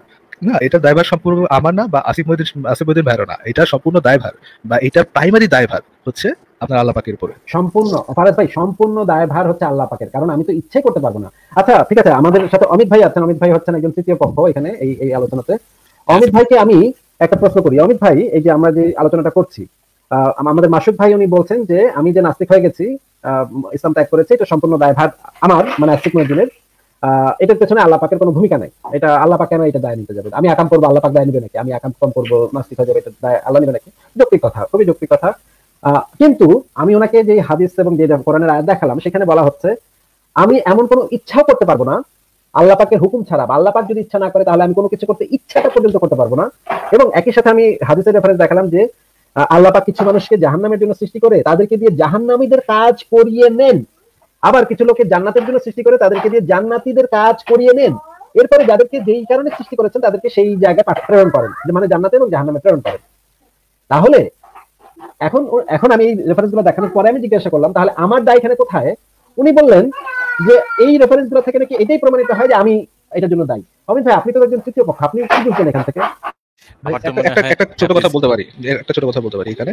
যদি আসিফ মহিউদ্দিন খোদ আল্লাপাক হয়ে থাকেন তাহলে আসিফ মহিউদ্দিন যে নাস্তিক হয়েছেন সেটার দায়ভার আসিফ মহিউদ্দিনের উপরে এবং আমি যদি খোদ আল্লাপাক হয়ে থাকি তাহলে আমি বলতে পারি যে আমি যে নাস্তিক হয়েছি তার দায়ভার সম্পূর্ণ আমার উপরে। আমার কিন্তু মনে হয় এটা আমার কোনো দায়ভার নেই এটা পুরোপুরি ঈশ্বরের উপরে আল্লাহর উপরে ডিপেন্ড করছে। আমার তো এখানে কিছু I don't have any say over here যদি এই কোরআন এবং হাদিসগুলো সত্য হয়ে থাকে তাহলে তো আমার তো কোনো বা আবুল আহাবের তো কোনো দায় ছিল না বা আবুল আহাবের কোনো দোষ ছিল না। বেচারা ফাইসা গেছে একটা বিপদের ভিতরে ফাইসা গেছে তাকে দিয়ে আল্লাহ করায় নিছে এই আকাম তাই না? অবশ্যই। আচ্ছা মাসুদ ভাই ওনার ইয়াটা বলবেন। আমাদের সাথে হ্যাঁ। জিও শিশোকা ভাইও যুক্ত হয়েছেন। জিও শিশোকা ভাই আপনি একটু আওয়াজ করেন তো ভাই। জি ভাই শোনা যাচ্ছে? হ্যাঁ ভাই আপনাকে শিওর হলাম যে আপনি কিনা। তাহলে আপনারা একটু থাকেন। আমি ভাই তিন চার মিনিট একটু ব্রেক নিয়ে আসছি। আপনারা একটু কথা বলেন আমি একটু আসছি হ্যাঁ। আচ্ছা আচ্ছা ভাই আচ্ছা ভাই। আপনি বলেন তাহলে আপনি আপনি আলোচনাটা চালান আমি এক্ষুনি চলে আসব ভাই। একটু কাজটা সেরে আসি একটু কাজ। আচ্ছা ঠিক আছে। জি না, যে মাসুদ সাহেব আপনি আপনি বলেন জি। আচ্ছা আপনার যে পয়েন্টটা দেখেন সুরা তাকবীর তাকবীর তাকবীরে যে একটা লাস্টে একটা আল্লাহ তাআলা বলছেন যে তোমরা তোমরা ইচ্ছা করো না যদি আল্লাহ ইচ্ছা করেন রব্বুল আলামিন। এখন। এই কথাটা হচ্ছে জি এটা অবশ্যই সত্যি কথা আমরা স্বীকার করছি। এইটা হচ্ছে তার আগের আয়াতটা আমাকে দেখতে হবে এই আয়াতটা ইয়ে করতে হবে। কি আয়াত? তোমরা হচ্ছে পুরো সূরাটা এইভাবে বর্ণনা করেছে তোমরা যদি তোমার ইচ্ছা হয় তাহলে তোমার হেদায়েতের পথে তোমরা টেক রাইট কোর্স একটা সঠিক পথ অনুসরণ করো। না না না আপনার ভাই আপনি তো এখনই কথাটা ঘুরে দিলেন। আমাদের। ইচ্ছার উপর ডিপেন্ড করছে না তো। আল্লাহ আল্লাহ পাকের ইচ্ছার উপর হ্যাঁ, আপনি আমাকে শেষ করতে দেন। ওকে আপনি হচ্ছে আমাকে শেষ করতে দেন আমি বলছি। তো যেখানে ওই সূরাটা আপনি যদি যে যিনি রেফারেন্স দেখাচ্ছিলেন ওই রেফারেন্সটা আপনি উনি একটু দেখাবেন। আপনি ওই সূরাটাই বের করবেন বের করে দেখেন তার আগের আয়াতে আল্লাহ কি বলছেন। আপনি ওই আগের আয়াতে আপনি মেহরবানি করে একটু দেখবেন। ওখানে যেটা বলছে সেটা হচ্ছে এই যে তোমাদের যদি ইচ্ছা হয় তাহলে তোমরা হচ্ছে একটা সঠিক পথ অনুসরণ করো। তারপরে বলছে বাট তোমরা ইচ্ছা করো না যদি না আল্লাহ ইচ্ছা করেন রব্বুল আলামিন। এটা হচ্ছে মূল কথা। তাহলে এখান থেকে কি বোঝা গেল? যদি আল্লাহ তালা ইচ্ছা করেন আল্লাহ তাআলা ইচ্ছা করেন তাহলে তোমরা ভালো পথ সঠিক পথটা নিতে পারবা। আর যদি আল্লাহ তাআলা ইচ্ছা না করেন তাহলে তোমরা হচ্ছে এই ওই কে- ইচ্ছা না করলে আমি নিতে পারব না সঠিক পথ না না আপনি হচ্ছে আল্লাহ তাআলা ইচ্ছা না করলে আপনি সঠিক পথ নিতে পারবেন না। আপনি সেটা অনুসরণ করতে প্রাইমারি স্টেপটা কার? আমার নাকি আল্লাহ হ্যাঁ তাহলে তো ওইখানে ওই হাদিসের সাথে সামঞ্জস্য হলো যে তোমরা তোমরা জানা- ইয়ে যেতে পারবে না। তোমরা হচ্ছে তাহলে- মানে ইয়েটা কার? মানে স্টেপটা কার? প্রাইমারি স্টেপটা কার? আমি ভালো করব বা খারাপ করব? আমি দিনের পথে আসব নাকি দিনের পথ দুটো না, না, না। দুটোই দুটোই। আম- মনে করেন আমি যদি ধরেন আল্লাপাক ইচ্ছা করলে আমি হুম। আল্লাপাক ইচ্ছা করলে আমি ভালো কাজ করতে পারব হ্যাঁ? আল্লাপাক ইচ্ছা যদি না করেন তাহলে আমি ভালো কাজ করতে পারব না। তাহলে এই যে আমি ভালো কাজটা করতে পারতেছি না সেটাও তো আল্লাপাকের ইচ্ছার উপর ডিপেন্ড করতেছে। ভালো এবং খারাপ। দুটোই। আল্লাপাকের ইচ্ছার হ্যাঁ। ইচ্ছার উপর ডিপেন্ড করতেছে। না আমার কিছু কথাটা শুনে না আমার আমি যদি ভালো কাজ করতে চাই বা ভালো কাজ করতে চাই এবং আমার চাওয়াটা যদি ডিপেন্ড করে আল্লাহ আল্লাপাকের ইচ্ছার উপরে আমি যদি ভালো কাজ ইচ্ছা আমি যদি খারাপ কাজ করতে ইচ্ছা- করি বা ভালো কাজ করতে ইচ্ছা করি সেটা যদি আল্লাহ পাকের ইচ্ছার উপর ডিপেন্ড করে তাহলে তো প্রাইমারি স্টেপটা আল্লাহ পাকের খোদ আল্লাহ পাকের নিজের। আমার আমার ইচ্ছার উপর ডিপেন্ড করছে না। আমি যে নাস্তিক হয়েছি সেটা কেন? কেননা আল্লাহ পাকের ইচ্ছা হয়নি যে আমি দিনের পথে আসি বা আমি আহ, আপনাদের ইসলাম ধর্মে ইসলাম ধর্মে টিকে থাকি। এটা আল্লাহ পাকের ইচ্ছা হয়নি সুতরাং আপনি তো এই সেন্স থেকে কখনোই বলতে পারেন না যে আমি নাস্তিক হয়েছি আমার সম্পূর্ণ দায়ভারে। না আমি নাস্তিক হয়েছি এটা দায়ভারটা হচ্ছে আল্লাহ পাকের। যেমন আপনি দিনদার হয়েছেন আপনি দিনের পথে আছেন সেটা দায়ভার কার? সেটাও দায়ভার আল্লাহ পাকের। কারণ আল্লাহ আপনার উপর আল্লাহ পাকের ইচ্ছা হয়েছে এবং আমার পরে আল্লাহ পাকের ইচ্ছা হয়নি। এবং হ্যাঁ। আপনি কিন্তু এই কনক্লুশনের সাথে একমত। একমত হয়েও আপনি কোন সেন্সে বিরোধিতা করতেছেন? হ্যাঁ আমি আসছি আমাকে একটু দেন। আল্লাহ তাআলা বলছেন হচ্ছে আল্লাহ তাআলা যাকে ইচ্ছা তাকে হেদায়েত দান করেন। এই কোরআনের মধ্যে আল্লাহ বলছেন, আল্লাহ যাকে ইচ্ছা তাকে হেদায় দান করেন। আবার তিনি বলতেছেন, তিনি সবাইকে, সমস্ত মানুষদের থেকে হেদায় দিতে পারতেন। কিন্তু, আবার আরেকটা কথা তিনি বলতেছেন, কিন্তু আল্লাহ কথা, যেটা আল্লাহর ওয়ার্ড সেটা অবশ্যই ফুলফিল হবে। সেটা কি? তিনি সেখানেই বলে দিচ্ছেন যে হচ্ছে আমি নিশ্চয়ই মানুষ এবং জিন জাতিদেরকে দিয়ে জিন জাতিদেরকে দিয়ে জাহান্নাম পূর্ণ করব। তো এটা আল্লাহর ওয়ার্ড এটা আল্লাহ শয়তানের সামনে যখন বলেছিল যে তোমার শয়তানের সামনে এই কথাটা তিনি বলেছেন যখন বললেন তখন তিনি এই কথাটা তার পূরণ হবেই হবে। সো তিনি সবাইকে হেদায়েত দেন না। এইবার বলেন আপনার পয়েন্টটা আমি হচ্ছে আপনি যেটা খারাপ কাজ করতেছেন সেটা আপনার উপরেই। আপনি যদি ভালো কাজ না না না না মাসুদ ভাই মাসুদ ভাই একটু থামাচ্ছি। মনে করেন আমি যদি একটা ধর্ষণ করি কি বলেন? ভাই এক সেকেন্ড আমি যদি একটা ধর্ষণ করি এটার দায়টা কার ভাই? আপনার। আচ্ছা ঠিক আছে এই এই জিনিসটা আমরা একটু রেফারেন্স থেকে হাদিস থেকে একটু দেখে নিই হ্যাঁ? যে এটার দায়টা আসলে কার ঠিক আছে? আর আমি ধরুন একটা হসপিটাল তৈরি করলাম এই দায়টা কার? আমি একটা বিশাল ভালো কাজ করলাম এই দায়টা কার? যদি আপনার নিয়ত ঠিক থাকে নিয়ত যদি এক্লাস থাকে যদি যদি না আমি- যদি কথা না যদি টদির কথা না দায়টা কার? খুব সংক্ষেপে একটা ছোট্ট উত্তর চাইছি। এখানে তো দায় আসতেছে না এটা তো অমিত ভাই অমিত ভাই অমিত ভাই এক সেকেন্ড অমিত ভাই এক সেকেন্ড আমি রেফারেন্স একটু দেখাই নি ভাই এটা একটু দেখাইনি Sure. এটা সহি মুসলিমের ইসলামিক ফাউন্ডেশনের ছয় হাজার পাঁচশো তেরো নম্বর হাদিস। এখানে পরিচ্ছদে বলা আছে, বনি আদমের জিনা ইত্যাদির অংশ পূর্ব নির্ধারিত। মানে আমি যে ধর্ষণের কথা একটু আগে বললাম, ধর্ষণ হচ্ছে জিনার অন্তর্ভুক্ত। দুই ধরনের জিনা আছে এটা একটা এক ধরনের জিনা হচ্ছে ধর্ষণ। এই যে জিনাটা যে, এই জিনাটা পূর্ব নির্ধারিত, এই বিষয়ে কি বলা হচ্ছে শুনি আমরা? আবু হুরায়রা সূত্রে নবী সাল্লাল্লাহু আলাইহি থেকে বর্ণিত, তিনি বলেন, আদম সন্তানের উপর জিনার যে অংশ লিপিবদ্ধ আছে, সে, তা অবশ্যই সে প্রাপ্ত হবে। অবশ্যই সে প্রাপ্ত হবে। দু চোখের জিনা হলো দৃষ্টিপাত করে blah blah blah blah blah আচ্ছা আরেকটা হাদিস দেখি এই যে, ছয় হাজার পাঁচশো বারো নম্বর হাদিস, এখানে বলা হচ্ছে বনিয়া আদম আল্লাহ আদম সন্তানের জিনার যে অংশ নির্ধারণ করেছেন তা সে অবশ্যই পাবে করবে। আচ্ছা আরও দেখি। সহি মুসলিমের হাদিস একাডেমি থেকে ছয় হাজার ছয়শো ছেচল্লিশ রাসুল্লাহ বলেছেন আদম সন্তানের উপর ব্যভিচারের যে ভাগ লিখেছেন নিঃসন্দেহে তা সে পাবে। সহি হাদিস সবগুলা সহি হাদিস। মহান আল্লাহ তালা এটা হচ্ছে আবু দাউদ শরীফের তাহাকিকৃত একটা অংশ মধ্যে জিনার একটি অংশ নির্ধারণ করে রেখেছেন যা সে অবশ্যই করবে। তারপর আরও দেখি আহ, মিশকাত শরীফের আল্লাহ তালা আদম সন্তানের উপর তার ব্যভিচারের অংশ লিখে রেখেছেন তা সে নিশ্চয়ই করবে। মানে অসংখ্য হাদিস এখানে আছে যে আল্লাহ আমি যে জিনাটা করব বা ধর্ষণটা করব, সেটা আল্লাহ পাক আগেই লিখে রেখেছেন। একটু আগে আমি যে রেফারেন্সটা দেখিয়েছি, সেখানে দেখিয়েছি যে আল্লাহ পাক জান্নাতীদের কাজ করিয়ে নেন, জাহান্নামীদের কাজ করিয়ে নেন। তাহলে ভাই কেউ যদি ধর্ষণ করে সেটার ড্রাইভারটা কার? আমি এখন বলে সেটা হচ্ছে আপনার। কেননা আপনি যদি যেই হাদিসটাই দেখাচ্ছেন সেই হাদিসটা লাস্ট লাইনে কি বলছে? লজ্জাস্থান সেটাকে বাস্তবায়ন করে অথবা সেটাকে মিথ্যা প্রতিপন্ন করে। তাহলে কি? ও লজ্জাস্থান সেটাকে বাস্তবায়ন করে- করে অথবা সেটাকে মিথ্যা প্রতিপন্ন করে। গেল। এখন হচ্ছে মানে আপনার কথা ভাই কোনো সেন্স মেক করতেছে না ভাই। আমি একটু কথা বলি? আপনাদের একটা এক সেকেন্ড আমাকে একটু বলতে দেন যে আপনার আচ্ছা কাছে sense মা- ভাই না? মাসুদ ভাই মাসুদ ভাই মাসুদ ভাই আপনি বলেন জিও ভাইকে আপনি কি এই পয়েন্টে কিছু বলবেন? জিও ভাই। জি ভাই এই পয়েন্টে আচ্ছা তাহলে বলেন তাহলে বলেন। আচ্ছা মাসুদ ভাই শোনা যাচ্ছে আমাকে? শুনতে পাচ্ছেন? হ্যাঁ শোনা যাচ্ছে জি শোনা যাচ্ছে। আচ্ছা আচ্ছা ফার্স্ট একটা ছোট একটা দেই। ধরেন আপনি দুজন দুজন পিচ্ছি নিলেন ঠিক আছে? দুটো পিচ্ছিকে এবং এক পিচ্ছিকে আপনি ভালো ভালো আচার আচরণ শিখাইলেন ঠিক আছে? মানে মানে যত ভালো কোয়ালিটি আছে মানুষের এগুলো শিখাইলেন। আরেকটা পিচ্ছির শিখাইলেন হচ্ছে গিয়ে আরেকটা পিচ্ছির শিখাইলেন চুরি করা হ্যাঁ? মানে যত খারাপ খারাপ কাজকর্ম সেগুলো শিখাইলেন। এখন আপনি এরপরে তারা কাজকর্ম করল ওই আপনি যা শিখাইছেন ওই অনুযায়ী কাজকর্ম করল। করার পরে যারা ভালো কাজ শিখাইছিলেন সে ভালো কাজ করল করার পরে আপনি খুশি হয়ে চকলেট দিলেন। এবং যারা খারাপ কাজ শিখাইছেন সে খারাপ কাজ করল এরপরে তারা তাদেরকে পিটাইলেন। তাহলে এখানে ড্রাইভারটা কার? জাস্ট আচ্ছা। সিম্পল উদাহরণ আমি অ্যানালিসিস দিছি কোনো আল্লাহ তাআলার আচ্ছা। কথা বলে শিশু নিছেন। দুটো শিশু নিছেন। আমি আপনি হ্যাঁ, বলছেন দুটো শিশু নিছেন? হ্যাঁ দুটো শিশু নিছেন। এখন দুটো শিশুকে আমি হচ্ছে তাকে ভালো কাজ শিখালাম। শিখানোর পরে বলে দিলাম এটা ভালো কাজ ওটা ভালো কাজ ওটা ভালো কাজ ওটা ভালো কাজ ওটা ভালো কাজ। তুমি যদি করো তাহলে আমি হুম। চকলেট দেবো। এখন চকলেট দেওয়ার পরে আবার হচ্ছে এবার অপর আপনি আপনার অ্যানালজিটা আমি বলছি। এবার অপরজন আরেকটা শিশু যাকে আপনি নিলেন দুটোই শিশু। হচ্ছে তাকে আপনি বললেন যে আপনি তাকে বললেন আপনি তাকে হচ্ছে কীভাবে মানে ইয়ে শিখালেন কি তাহলে? আপনি এখানে বলছেন আপনি কি বললেন যে এটা খারাপ কাজ ওটা খারাপ কাজ ওটা খারাপ কাজ ওটা খারাপ কাজ নাকি আপনি বললেন ওটা ভালো কাজ ওটা ভালো কাজ ওটা ভালো কাজ ওটা ভালো কাজ আপনি তাহলে পয়েন্টটা বোঝেন না আপনি একজনকে মানে আপনি যখন শেখাচ্ছেন না, না, হ্যাঁ আমি এটা ক্লিয়ার করে নিই তাহলে। আপনি একজনকে খালি মনে করেন যে একটা স্পেসিফিক জিনিসও শিখাইলেন যেগুলো ভালো লাগবে না। হ্যাঁ যেগুলো আমরা ভালো বলে বলি ওগুলোই শিখাইলেন আরেকজনকে আপনি যেগুলো খারাপ বলে আমরা মনে করি ওগুলোই শিখাইলেন এছাড়া আর কিছু শিখাইলেন না। আচ্ছা এটা আমি তার শিখালাম না মনে করেন। কিন্তু আমি বললাম আমি তাকে কি কি শিখালাম? মনে করেন আমি তাকে শিখালাম মানুষের সুই দিয়ে খুঁজা দিতে। মনে করেন আমি শিখালাম সুই দিয়ে খুঁজা দিতে দিতে। এখন আমি তাকে বললাম যে কি বলব? তাকে তুমি শুধু উম, খোঁচা দাও। আমি যদি এই বলি যে তুমি ছুরি দেখো দাও এই আছে তোমার হাতে পেন দিলাম আজকে স্কুলে যাবা যে একেবারে মনে করো যাদের মনে চায় একবারে খুঁচায় রক্ত বের করে দেবা। তুমি বললাম আমি বললাম না এটা ভালো কি খারাপ। এইবার যখন হচ্ছে সে আমার কাছে আসলাম তাহলে খুব মার দিলাম। এবার বলেন যে তার এবার বলেন এবার বলেন আপনার কাছে আমার প্রশ্ন এবার দোষ টাকা। আমার দোষটা দোষটা কি আমার নয় যে আমি তাকে বলিনি এটা ভালো এবং খারাপ? এটা কি আমি হ্যাঁ, বলা উচিত। হ্যাঁ ভাই আপনি কিন্তু আমি কিন্তু আগে বলছি যে আপনি কিন্তু দুজনকেই দুই পক্ষ থেকে- দুই পক্ষ থেকে কিন্তু দুইটা সাইডই বলেন নাই। কথা বোঝেন নাই? হ্যাঁ। তাদের কাজকর্ম আহ, তাদের কাজকর্ম যদি। এরকম হয় যে যেটা আপনি বলছেন কিন্তু হ্যাঁ। কিন্তু জিও ভাই আপনি তো একটা ভুল উদাহরণ দিচ্ছেন। এখানে তো শুধু শিখানোর কথা বলা নাই ভাই এখানে তো করিয়ে নেওয়ার কথা বলা। আপনি ওইটা পরে ওইটা ওইটা আসতেছিলাম ভাই। আপনি তো ওইটা আসতেছিলাম। যে আচ্ছা, আচ্ছা। আমি তো তাকে মানে প্রথম কথা হচ্ছে গিয়ে আমি তো একজনকে একটা স্পেসিফিক জিনিস শিখাইলাম যে আমি তো তাকে অপশন দিচ্ছি না প্রথমত। দ্বিতীয়ত হচ্ছে গিয়ে আমি মানে তার যে কাজকর্ম সেটা পুরোপুরি ডিপেন্ড করতেছে আমি তাকে কি বলতেছি না বলতেছি সেটার উপর আমার ইচ্ছার উপর।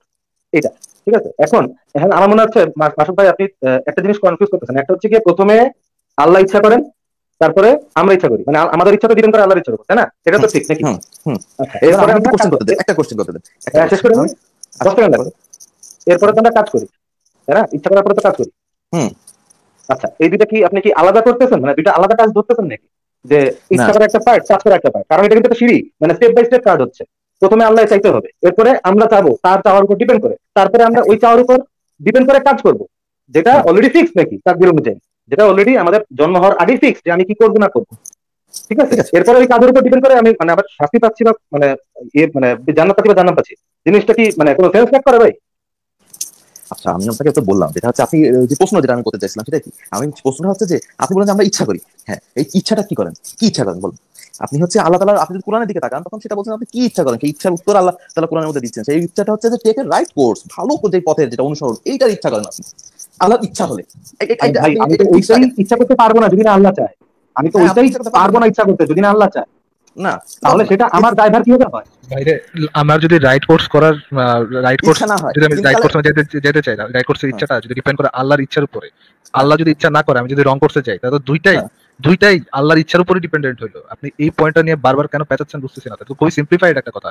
আমি যদি আমি যদি ভালো কাজ করি ধরেন ধরেন ধরেন ইয়ে সাহেব আহ, আবরার সাহেব ধরেন আমি আমার অফিসে প্রমোশন পাবো কিনা এইটা ডিপেন্ড করতেছে আমার বসের ইচ্ছার উপরে হ্যাঁ? আমার বসের ইচ্ছার উপরে। আমার বস যদি ইচ্ছা করে আমি প্রমোশন পাবো। আমি প্রমোশন পাইলাম না। আমার আমার আমার বদলে অন্য একজন প্রমোশন পাইলো। এটা কার ইচ্ছার উপর ডিপেন্ড করল?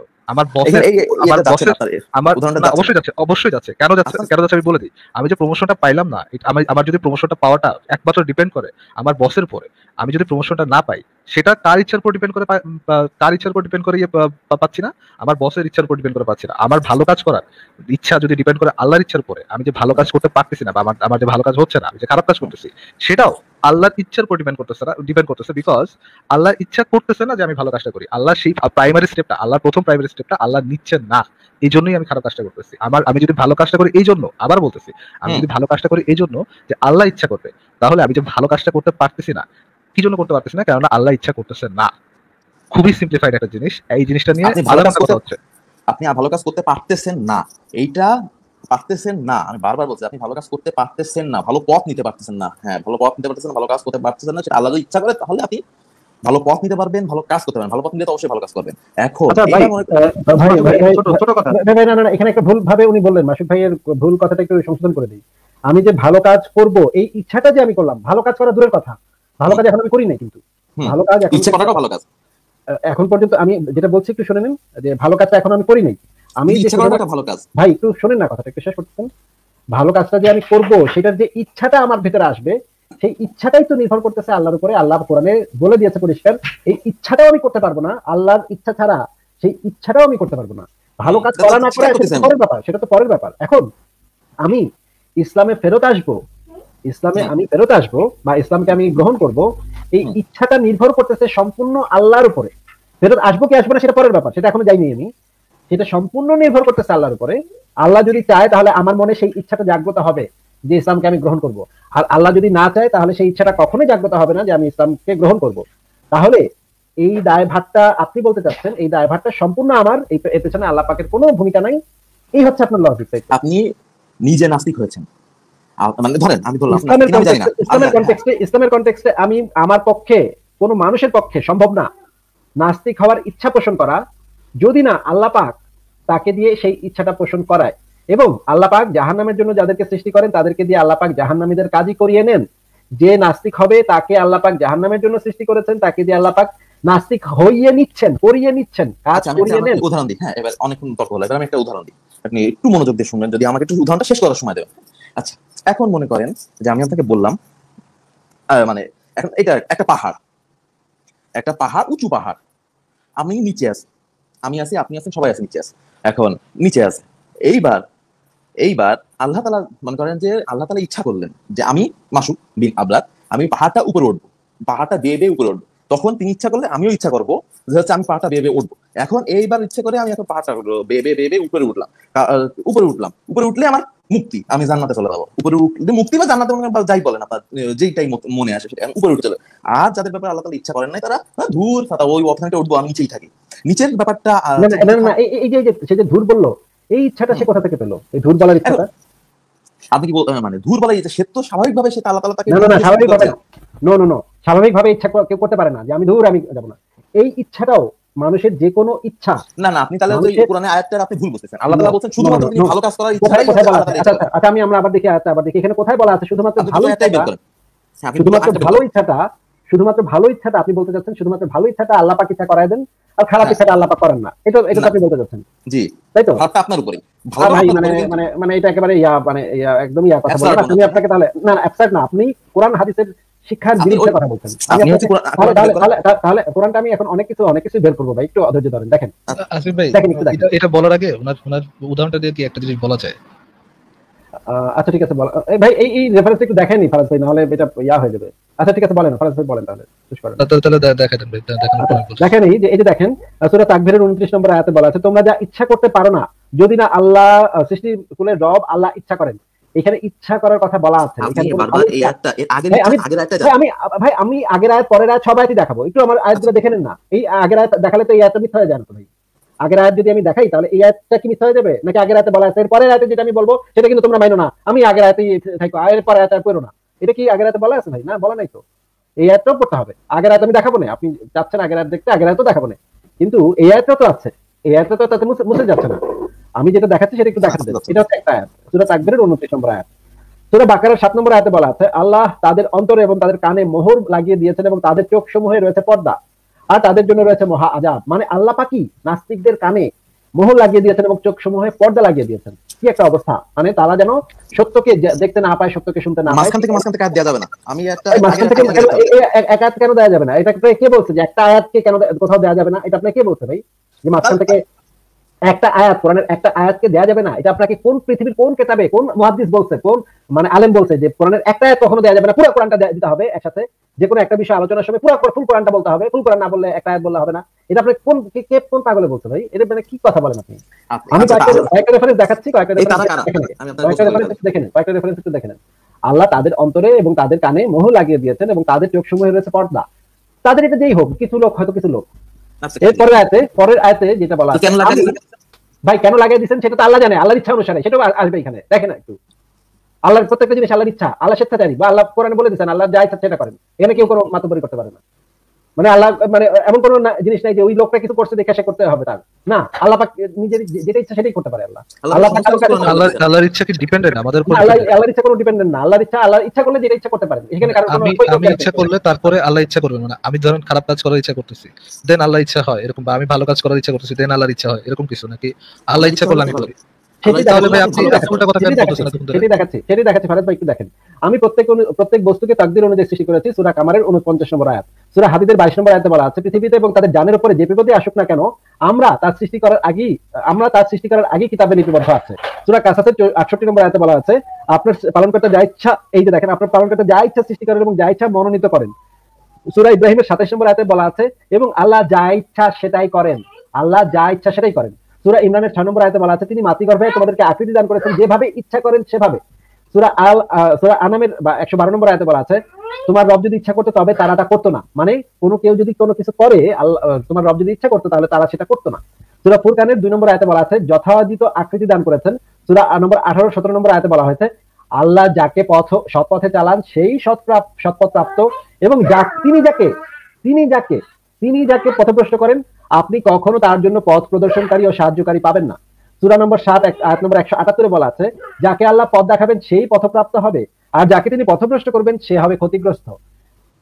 এই যে এই যে দেখেন, সুরা আটষট্টি নম্বর সুরা, তিরিশ নম্বর আয়াতে যেটা বলা আছে, আল্লাহর অভিপ্রায় ব্যতিরেকে তোমরা কোনো অভিপ্রায় পোষণ করতে পারবে না। এটা হচ্ছে আমার মানে এই- এই মুহূর্তে লাস্ট রেফারেন্স এবং সবচেয়ে ইম্পর্টেন্ট রেফারেন্স আল্লাহর অভিপ্রায় ব্যতিরেকে তোমরা কোনো অভিপ্রায় পোষণ করবে না।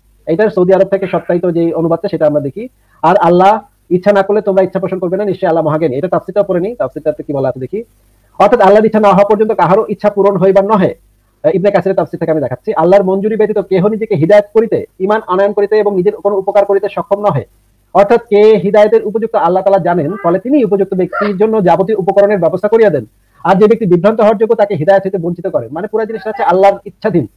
আল্লাহ যাহাকে ইচ্ছা হিদায়ত দান করেন, আর যাহাকে ইচ্ছা পথহারা করেন, আল্লাহ যাহাকে হিদায়ত দান করেন, কেহ তাহাকে বিভ্রান্ত করিতে পারে না। আর আল্লাহ যাহাকে বিভ্রান্ত করেন, এই যে দেখেন, আল্লাহ যাহাকে বিভ্রান্ত করেন মানে আল্লাহ কাউকে কাউকে বিভ্রান্ত করেন। আল্লাহ যাহাকে বিভ্রান্ত করেন, তাহাকে হৃদায়ত দিতে, কেহ তাহাকে হৃদায়ত দিতে পারে না। আর অত্যাচারীদের জন্য তিনি যন্ত্রণাদায়ক শাস্তি ব্যবস্থা রেখেছেন। আমরা যে refer- আমি যে কয়টা কথা বলেছি, প্রত্যেকটার সাপেক্ষে রেফারেন্স দেখেছি।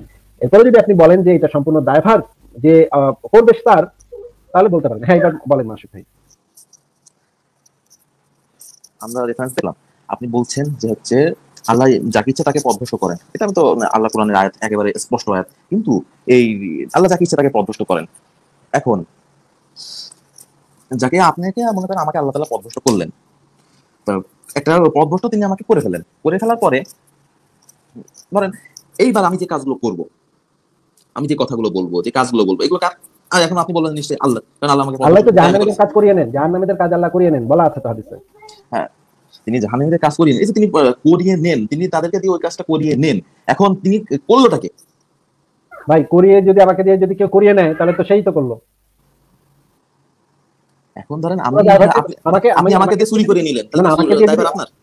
অবশ্যই আপনাকে যদি আপনাকে দিয়ে ড্রাইভার আসিফ ভাই না আপনাকে দিয়ে যদি আসিফ ভাই চুরি করে নেয় তাহলে ড্রাইভার সম্পূর্ণ আপনার আসিফ ভাই ড্রাইভার না?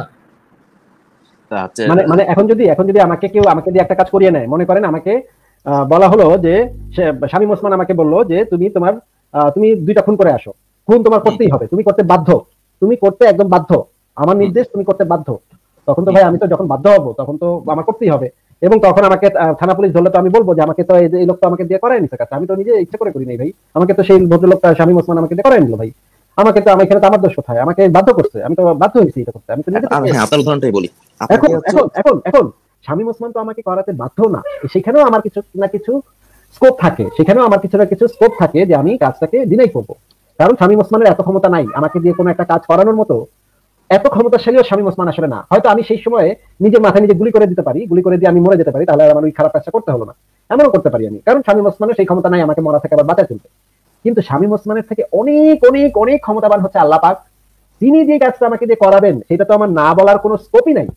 সেটাকে আমার ডিনাই করার বা সেটার অন্যথায় করার কোনো বিন্দু মাত্র কোনো সুযোগ আমার কাছে নাই। শামীম ওসমানের কাজটাকে বিন্দু মাত্র ডিনাই করার সুযোগ আচ্ছা উনি তো চলে গেলেন। ফারাজ ভাই উনি তো চলে গেলেন ভাই। খুবই দুঃখজনক বিষয়। আমি তো আমি তো তার সাথে ইয়েটা নিয়ে তার উদাহরণটা নিয়ে একটু আলোচনা করতে যাচ্ছিলাম। আর আমি বললাম ভাই উনি এটা মেনেও নিলেন যে আল্লাহ পাক বিভ্রান্তিও করার তার একটু আগে উনি এটার ডিনাইও করতেছিলেন যে হ্যাঁ খারাপ কাজটার দায়ভার আমার ভালো কাজটার দায়ভার আল্লাহর মানে ভালো কাজটা করার ইচ্ছা আল্লাহ পাক থেকে আসবে খারাপ কাজটা করাটা। আবার একটু আগে তাকে যখন একটু পরে যখন আপনি তাকে ইয়ে দেখাইলেন রেফারেন্স দেখাইলেন যে আল্লাহ বিভ্রান্তও করে এবং সেটাও আমার ইচ্ছার আমার কাজের উপর ডিপেন্ড না ডিপেন্ডেন্ট না আল্লাহ নিজের ইচ্ছে বিভ্রান্ত করান সেটাও তিনি মেনে নিলেন।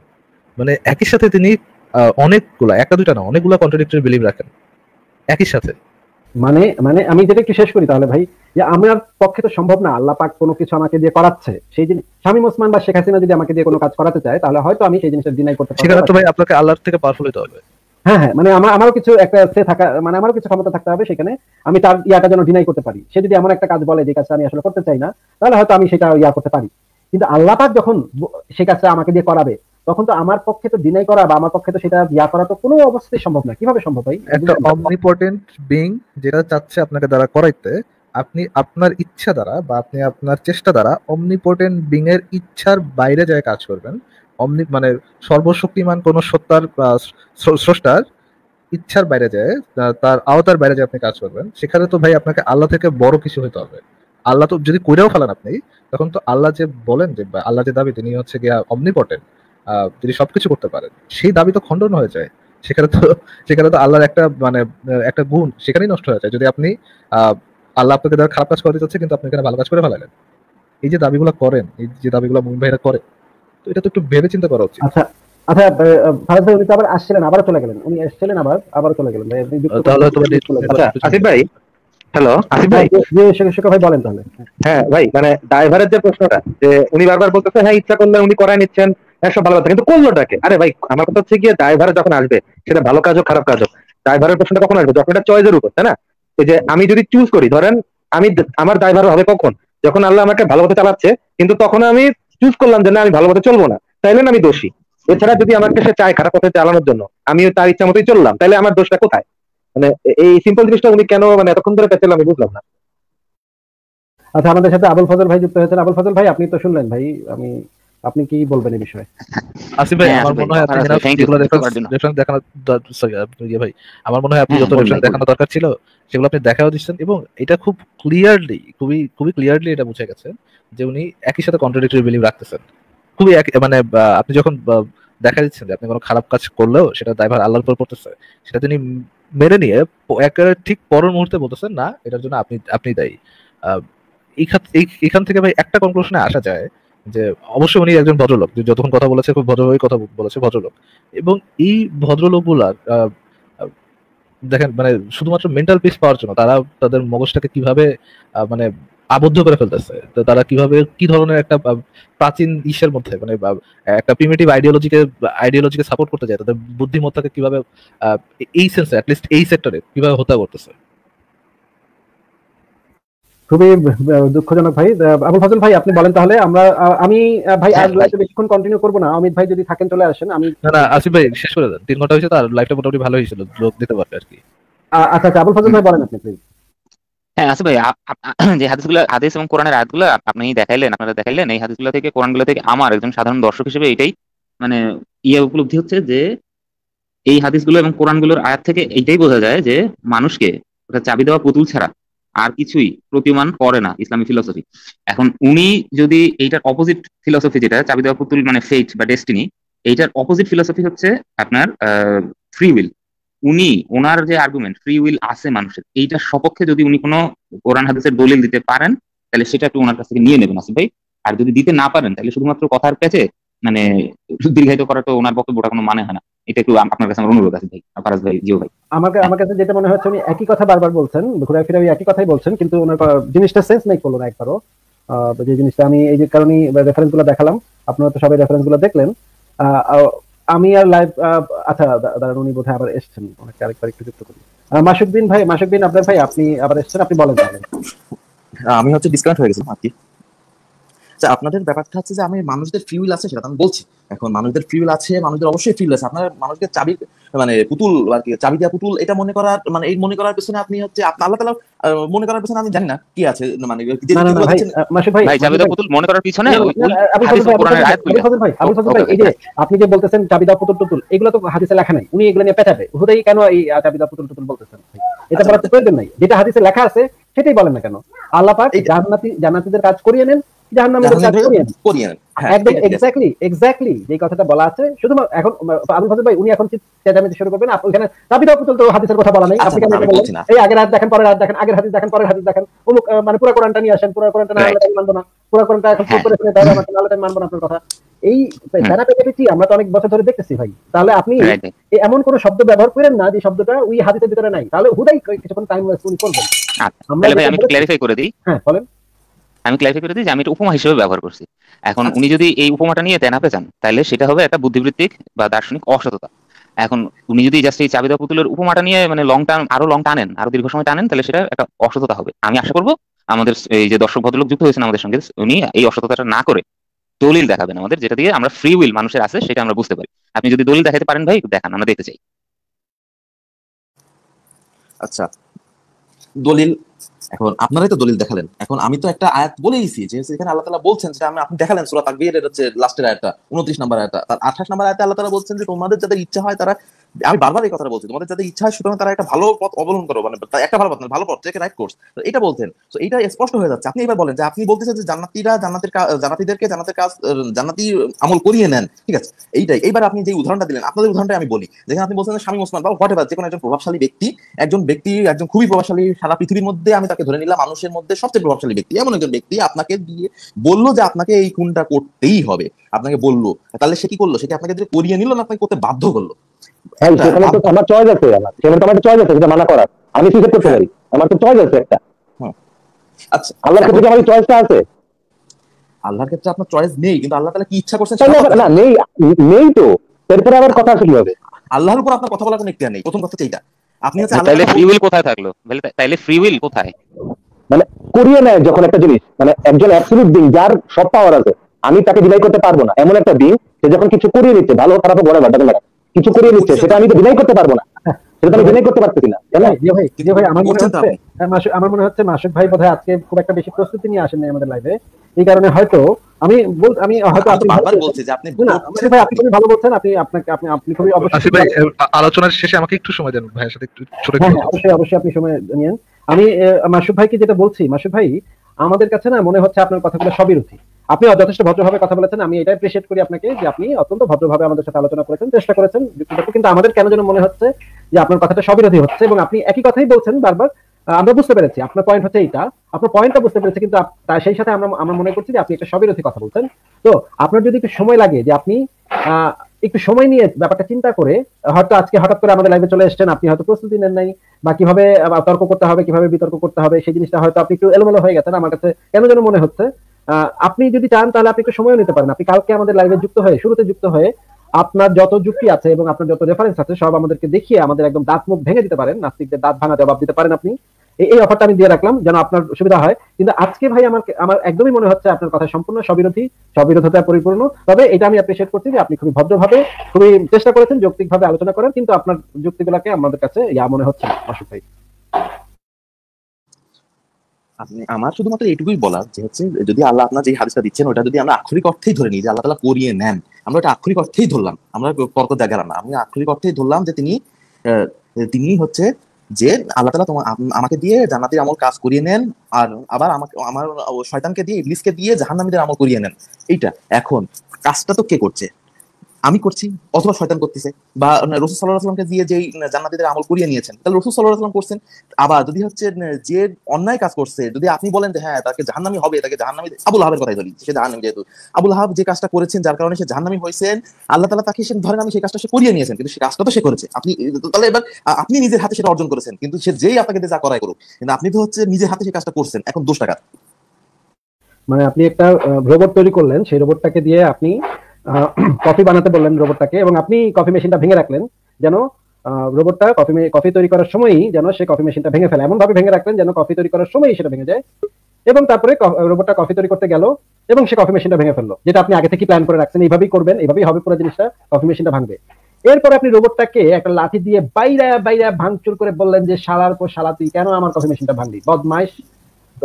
তুই একটা মানে শয়তান, তুই একটা ইতর, তুই একটা এইটা, তুই একটা সেটা কেন কফি মেশিনটা ভাঙলি? আপনি পুরো জিনিসটা প্ল্যান করলেন আপনি সেই জিনিসটা করাইলেন তাকে দিয়ে। কফি মেশিনটা ভাঙাইলেন আপনি। এবং সে যেহেতু ওই কফি মেশিনটা মানে হাতটা তার অবশ্যই হাতটা তার। এই কারণে তাকে আপনি পিটাইলেন যে সে কফি মেশিনটা ভেঙে ফেলছে। ওয়াও ভাই ফ্যান্টাস্টিক আপনার যুক্তিটা আমি বুঝতে পেরেছি। ফারাজ ভাই আপনি বোধহয় ওনার সাথে কিছুক্ষণ কথা বলতে চাচ্ছেন হ্যাঁ, আমি অল্প একটু অল্প একটু কথা বলতে চাচ্ছিলাম এখানে। যে এই লাস্ট পয়েন্টটা দিয়ে শুরু করি। আহ, ধরেন আহ, আহ, সাহেব আহ, জি। আপনাকে কেউ গান পয়েন্টে রেখে আহ, বলল যে আহ, ধরেন আপনার কোন একজন বন্ধু আছে বন্ধুকে দুই গালে দুটো মানে জাস্ট এটা উদাহরণ দেওয়ার জন্য বলতেছি দুই গালে দুটো চর দিতে হবে কষায় দুটো চর দিতে হবে। আপনাকে গান পয়েন্টে রেখে তো এই কাজটা করতে বলল। এখন এটা কি আপনার ফ্রি উইল ছিল? বা আপনি নিজের ইচ্ছা করেছেন নাকি আপনি এটা ফোর্সফুলি আপনাকে এই কাজটা করানো হয়েছে? গান পয়েন্টের সামনে সুতরাং ফোর্সফুলি ফোর্সফুলি আচ্ছা এখন আল্লাহ পাক চাচ্ছেন আমাকে জাহান নামে নিবেন। আল্লাহ পাক আমাকে জাহান নামের কাজ করিয়ে নিতে চাচ্ছেন হ্যাঁ? এখন একজন আমি প্রথমটাতে কি তুলনা দিলাম? একজন ব্যক্তি একজন মানুষ আমাকে গান পয়েন্টে রাখছে। আর দ্বিতীয় তুলনাতে কি আসতেছে? আল্লাহ পাক যিনি পুরা মহাবিশ্ব তৈরি করেছেন পুরা ব্রহ্মাণ্ড মানে কসমসের সবকিছু তার আন্ডারে চলে আহ, তার ইচ্ছার বাইরে কোনো কিছু হয় না। এখন তিনি ইচ্ছা করেছেন যে আমি জাহান নামে যাব বা আমার দ্বারা জাহান্নামী আমাকে দিয়ে জাহান্নামীদের কাজ করিয়ে নেবেন। এখন। Was I force into it বা আমার কি এই এটাকে দ্বারা ফোর্স করানো হয়েছে? নাকি আমার এটার মধ্যে আমার কোনো ফ্রি উইল ছিল? আচ্ছা আপনি দুটো যেটা দুটো হচ্ছে সম্পূর্ণ দুটো একটা মানে প্লট বললেন। দুটো একদম প্লট একটা হচ্ছে গান পয়েন্টে আপনাকে বাধ্য করা হলো চর মারতে বা মনে করেন একজন খুন করতেই। আমি আলসে বাধ্য হলাম। আর অপর সাইডে আপনি বললেন যে আল্লাহ আল্লাহ ইচ্ছা করলে। ইচ্ছা করলে আপনি ভালো কাজ করতে পারবেন অথবা আপনি আল্লাহ ইচ্ছা করলে আপনি খারাপ কাজ করবেন। মানে আল্লাহ ইচ্ছা না না না না আল্লাহ ইচ্ছা করল এবং আমি খারাপ কাজ করলাম। আচ্ছা, আল্লাহ ইচ্ছা করলে আপনি যে একটু আগে আমরা যে রেফারেন্সটা দেখলাম যে আল্লাহ জাহান্নামীদের কাজ করিয়ে নেন সেই সেন্স থেকে বলতে যে আল্লাহ ইচ্ছা করলেন এবং আমাকে দ্বারা জাহান্নামীদের কাজ করিয়ে দিলেন। এইখানে কি আমার ফ্রি উইল ছিল নাকি আমি I was forced into it এখন এবার আমাকে আ- এবার আমাকে বলতে দেন একটু শুনি যে আল্লাহ তাআলা কি হচ্ছে আপনাকে গান পয়েন্ট দিয়ে বলেছেন যে তুমি এটা করোই? আল্লাহ পাকের কি গান পয়েন্টে রাখতে হবে? যিনি পরম করুণা যিনি মানে সর্বশক্তিমান সত্তা তাকে কি গান ইউজ করতে হবে নাকি তার ইচ্ছাটাই ওই গানের থেকে হাজারো মেশিন গান থেকে হাজারো অ্যাটম বোম থেকে more threatening and more powerful এখন মানে গানের থেকে কি গানের থেকে কি আল্লাহর পাওয়ার বা আল্লাহর ইচ্ছার পাওয়ারটা কম? অবশ্যই গান দিয়ে কাজ গান দিয়ে অনেক সময় করানো যাবে না অনেক কাজ কাউকে দিয়ে কিন্তু আল্লাহ পাক ইচ্ছা করলে সেটা সাথে সাথে হয়ে যাবে। এই বিষয়ে আমরা নিশ্চিত। জি। আপনার তো একজন মুসলমান হিসেবে অবশ্যই বলতে হবে যে গান কেন? পুরা মহাবিশ্ব যদি এক সাইডে থাকে তাও তার তার থেকেও বেশি পাওয়ারফুল হবে আল্লাহর ইচ্ছাটা। একজন ইমানদার ব্যক্তি হিসেবে তো আপনার ওই পয়েন্টে থাকতে হবে। যদি। যদি আল্লাহ পাক ইচ্ছা করেন যদি আল্লাহ পাক ইচ্ছা করেন যে আমাকে দ্বারা জাহান্নামে নামে কাজ করিয়ে নেবেন এবং আমি আলটিমেটলি জাহান্নামে যাব তাহলে তাহলে was I forced into it নাকি আমার এখানে কোনো ধরনের ফ্রি উইল ছিল? প্রথম কথা হচ্ছে যে আপনি তো অদৃশ্যের খবর জানেন না। বা আপনাকে এইভাবে আমাকে আমাকে ঈশ্বর ভাই আমাকে ব্যাকগ্রাউন্ডের কথা না বলে আমাকে এই কথাটা বলেন। ব্যাকগ্রাউন্ডের ব্যাকগ্রাউন্ডের কথাটা আমরা দরকার হলে আপনি কালকে আসবেন। কালকে আমরা ওইটার সাথে আলোচনা করব। এই ঠিক পয়েন্টে আছে, আপনি আপনি আপনি আপনি এই পয়েন্টটা আবার শুনে রেখেন। এই পয়েন্টে আবার আলোচনা করেন। জাস্ট আমাকে এই আচ্ছা, ছোট। কথাটা অ্যান্সার দেন যে আল্লাহ পাক ইচ্ছা করলেন আমাকে জাহান্নামে দিবেন এবং আমাকে তারা জাহান্নামীদের কাজ করে নিলেন। আমার কি এখানে ফ্রি উইল ছিল নাকি? I was forced into it আল্লাহ ইচ্ছা করলে এখন আল্লাহ ইচ্ছা করলে আপনি আচ্ছা আপনি ফোর্স ইনটু আপনাকে তো ফোর্স কেউ এখন হচ্ছে আপনাকে কেউ ফোর্স করে নাই। এখানে আপনাকে আপনি হচ্ছে- আপনার হাত খোলা আপনি তো দেখতে পাচ্ছেন আল্লাহ ইচ্ছা আল্লাহ ইচ্ছা করছে কিন্তু আমার কাছে এখন এখন মনে করেন তার মানে আপনি বলছেন এখানে আমার ছিল। ভাই এখানে এটা হ্যাঁ তো ছিল। এটা- এটা- আল্লাহর ইচ্ছার বাইরে আল্লাহ ইচ্ছা করতেছেন আমাকে জাহান্নামে নিবেন এবং আল্লাহ আমাকে দ্বারা জাহান্নামীদের কাজ করিয়ে নিবেন। হুম। আল্লাহর প্ল্যান এবং এইটার বাইরে আল্লাহর প্ল্যানের বাইরে আল্লাহর উইলের বাইরে আমার ফ্রি উইল ছিল। এটা হচ্ছে আপনার দাবি। মানে মানে একজন মানুষ এটা আচ্ছা, হ্যাঁ, বলে। এই একজন মানুষের পক্ষে সম্ভব যে আল্লাহ চাচ্ছেন এবং আল্লাহ করাচ্ছেন তাকে দিয়ে অপকর্ম কিন্তু তার একটা ফ্রি উইল আছে সেই ফ্রি উইল দিয়ে সে আল্লাহর কাজকে উল্টা ফেলছে। আল্লাহর ইচ্ছাকে উল্টায় ফেলছে সে জান্নাতে ডং ডং জান্নাতে ড্যাং ড্যাং জান্নাতে চলে গেছে At least তার at least তার free will ছিল, ওই power টা ছিল। মনে করেন আমি একটা সামান্য ভাই, একটা উদাহরণ দিই। wow, ভাই, একটা আচ্ছা, ঠিক আছে, এই- ভাই আমরা বুঝতে পেরেছি আমরা বুঝতে পেরেছি একটা আপনার- আপনার আপনার- সাথে সমস্যা নেই, বলেন, বলেন, বলেন। হ্যাঁ, মনে করেন যে আমি- আপনাদের মধ্যে কোন একজন কোন একজন ভাই আমাকে বা আমি হচ্ছে আপনাকে হচ্ছে আমি যেহেতু ইমানদার যে দাবি করি এখন আমি আপনাকে আপনাদের মধ্যে কোন একটা মানুষ যে কোনো একটা মানুষ এটা কষে থাবা দিলাম এমন থাবা দিলাম যে দূরতা পড়ে গেল এখন এই আচ্ছা। থাবা দিয়ে আমি বললাম যে এটা আল্লাহর ইচ্ছা ছিল এবার বলেন আপনাকে আচ্ছা, এটা এটা কোনোভাবে এটা রিলেটেড কোনো আমার ইয়ে মনে না না এটা রিলেটেড আছে। ফারাজ ভাই এটা রিলেটেড হয় আমি বলে দিচ্ছি ওনাকে কীভাবে আচ্ছা, ঠিক রিলেটেড আছে। হয়। ইসলামী থিওলজি অনুযায়ী আপনার উপর কোনো দায় থাকবে না। কিন্তু সেকুলার একটা বিচার ব্যবস্থায় যেখানে আল্লাহর ক্ষমতা বা সামথিং এই যে ইসলামিক থিওলজির বিষয়টাকে প্রাধান্য না দিয়ে সেকুলার একটা আইন তৈরি করা হবে সেই আইন অনুযায়ী আপনি অবশ্যই দোষী হবেন। কিন্তু ইসলামিক থিওলজির দৃষ্টি থেকে দেখলে না না না না, আপনার না না উপর exactly কোনো ফজল ভাই ফজল ভাই ফজল ভাই আমি ইসলামিক এখানে একটা ছোট ইয়ে করে দিই। ইসলামিক থিওলজি যদি কনস্ট্যান্ট হয় হ্যাঁ ইসলামিক থিওলজিতে তো আমি কনস্ট্যান্ট মনে করি না কোনোভাবেই কনস্ট্যান্ট মনে করি না। ইসলামিক থিওলজি না সেটা তো নাই অবশ্যই হ্যাঁ। যদি কনস্ট্যান্ট হয় কাজ উনি যে উনি যে কন্ট্রাডিক্টরি বিলিভ রাখেন এটা কিন্তু ইসলামিক অনেক অনেক ইয়াতেই মানে অনেক মুমিনরা এইভাবেই বিলিভ রেখেছেন আমি এখানে ডিপে যাচ্ছি না আমি জাস্ট সিম্পলি বলতেছি যে ইসলামিক ইয়া যদি মানে মিথোলজি বা চিন্তাধারা এটা যদি কনস্ট্যান্ট হয় সেক্ষেত্রে সেক্ষেত্রে আহ, আবরার ভাইয়ের কোনো দোষ নেই। কিন্তু ওনাদের এই আইডিওলজির মধ্যে কোনো নেই। এটা এই টপিক এটা দিয়ে আলোচনা প্রথম প্রথম উদাহরণ প্রথম যেটা নিয়ে কথা বলতে যাচ্ছিলাম ওই ওই প্রশ্নটা আমি এখানে শেষ করেছি সেকেন্ড প্রশ্নটা আপনি হ্যাঁ আসিফ ভাই কিছু একটা বলতে যাচ্ছিলেন? ভাই এই যে যেই উত্তরটা মাসুদ ভাই দিলেন যে আপনি একটা খারাপ আপনি আপনাকে দিয়ে আল্লাহ পাক একটা ধর্ষণ করাতে চাচ্ছেন এবং আল্লাহ পাক আপনাকে দিয়ে ধর্ষণটা করাচ্ছেন তখন আপনার হঠাৎ রিয়ালাইজেশন হলো না ধর্ষণটা আমি করব না আমার ফ্রি উইল আমি ধর্ষণটা করব না। আপনার ভেতরে যে এই ইচ্ছাটা আসলো এই ইচ্ছাটা তো আসবেই না। কারণ আল্লাহ পাক তো বলে দিয়েছে যে আপনি ইচ্ছাই করতে পারবেন না যদি না আল্লাহ ইচ্ছাটা করে। তাহলে আল্লাহ পাক যদি চায় আপনাকে দিয়ে ওই ধর্ষণটা করাতে তাহলে তো আপনার পক্ষে এরকম ইচ্ছা করা সম্ভবই না যে আপনি ধর্ষণটা করব না। আমি এই ধর্ষণটা থেকে বিরত থাকব। এই অভিপ্রায় এই কোরআনের আয়াতগুলো আমি একটু আগে দেখিয়েছি আবারও প্রয়োজনে দেখাবো। আপনার পক্ষে তো সেই ইচ্ছাটা করাটাই সম্ভব না যে আপনি ধর্ষণটা করবেন না। উনি যে কি বললেন? ভাই মানে মানে- আমি আমি এক্সাক্ট এই পয়েন্টটাতে আসতে যাচ্ছিলাম এক্সাক্ট এই পয়েন্টটাতে আসতে যাচ্ছিলাম এবং আমি কি আহ, শুধুমাত্র আমি হাদিসে যেতে যেতে যাচ্ছিলাম না আমি ওনার উদাহরণ দিয়ে এই পয়েন্টটাতে আসতে যাচ্ছিলাম আহ, আবার সাহেব ইফ ইউ রিমেম্বার আপনি একটা উদাহরণ দিয়েছিলেন যে পাহাড়ে ওঠার একটা উদাহরণ জি হ্যাঁ। যে আপনি পাহাড়ের নিচে দাঁড়ায় আছেন পাহাড়টা ধরেন এক ধরনের হ্যাভেন আপনার ভালো কাজ ভালো কাজ ইকুয়াল হচ্ছে পাহাড়ে ওঠা। আপনি ভালো কাজ করে মানে পাহাড়ে উঠতে পারবেন এই ভালো কাজ করার ইচ্ছা হবে যদি আল্লাহর ইচ্ছা হয়। মানে আপনি যে মানে ক্লাইম করলেন এটাকে একটা ভালো কাজ হিসেবে ধরাইলেন আপনি চূড়ায় পৌঁছালেন এটাকে আপনি তুলনা দিলেন বেহেস্তে পৌঁছানোর সাথে রাইট তার মানে আপনি যে পাহাড়ে চড়ার ইচ্ছা হলো এই ইচ্ছাটা হবে যদি আল্লাহ চায় তাহলে আপনি। পাহাড় উঠতে পারবেন রাইট এটার সাথে তো আপনি একমত। আচ্ছা ঠিক আছে মনে করেন আপনি আর আমি দুজন পাহাড়ের একেবারে নিচে দাঁড়িয়ে আছি হ্যাঁ?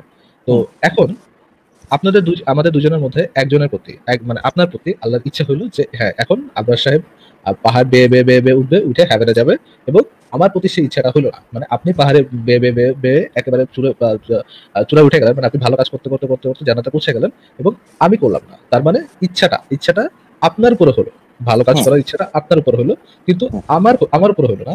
আমি খারাপ কাজ করে গেলাম আমি ভালো কাজ করতে পারলাম না আপনার উপরে আল্লাহ দয়া দয়া- মানে দয়াবান হলেন এবং হ্যাঁ, আপনি ভালো কাজ করতে পারলেন। ঠিক মানে একই সাথে এই যে আমি করতে পারলাম না এবং আপনি করতে পারলেন মানে আপনি ভালো কাজটা করতে পারলেন আমি করতে পারলাম না সেটা তো দুইটাই আল্লাহর ইচ্ছার উপর ডিপেন্ডেন্ট হলো। দুইটাই আল্লাহর ইচ্ছার উপর মানে আপনি যে ভালো কাজটা করে উঠতেছেন এই ভালো। আল্লাহ আল্লাহর ইচ্ছার উপর ডিপেন্ডেন্ট এবং আমি যে উঠতেছি না আমি যে হ্যাঁ। উঠতেছি না সেটাও আল্লাহর ইচ্ছার উপর ডিপেন্ডেন্ট হ্যাঁ আছে। আপনার উপর ইচ্ছা করেছেন আমার উপর ইচ্ছা তিনি করেন নাই এই যে আপনার দ্বারা ভালো কাজটা হচ্ছে এবং আমার দ্বারা ভালো কাজটা হচ্ছে না সেটা। কার উপর ডিপেন্ডেন্ট হচ্ছে আল্লাহর ইচ্ছার উপর আল্লাহর ইচ্ছার উপর আসিফ ভাই হ্যাঁ। পয়েন্টটা তো মেক হয়ে গেল আচ্ছা মাসুদ ভাই আমি খুবই দুঃখিত যে আজকে আমরা লাইভটা বেশিক্ষণ আর করতে পারছি না আমারও একটু কাজ আছে মাসুদ ভাই আপনার পক্ষে যদি সম্ভব হয় তাহলে আগামীকাল এই- টপিকটা নিয়ে আগামীকাল আমরা আরও কিছুক্ষণ আলোচনা করব তর্ক বিতর্ক করব। তাহলে আপনি একটু সময় পেলেন মাঝখানে যেন আপনি মানে পরে টরে আসতে পারেন বা রেফারেন্স হাতের কাছে রেফারেন্সগুলো নিয়ে আসতে পারেন তাহলে এটা একটা ব্যাপার ঠিক আছে। হ্যাঁ আমার তো প্রস্তুতি ছিলই না। হ্যাঁ সময় এই জন্য এই জন্য এই অবস্থায় আর কি। এই জন্য এটা হলে ভালো হয়। আপনার সাথে কথা বলে খুবই ভালো লাগল। আপনি খুবই ভালো ভদ্র মানুষ। এটা এই বিষয়টা হ্যাঁ, অস্বীকার করার কোনো উপায় নেই। আপনি চেষ্টা করেছেন আপনার মানে আপনার পক্ষে যুক্তি দেওয়ার চেষ্টা করেছেন এটা আমরা স্বীকার করছি।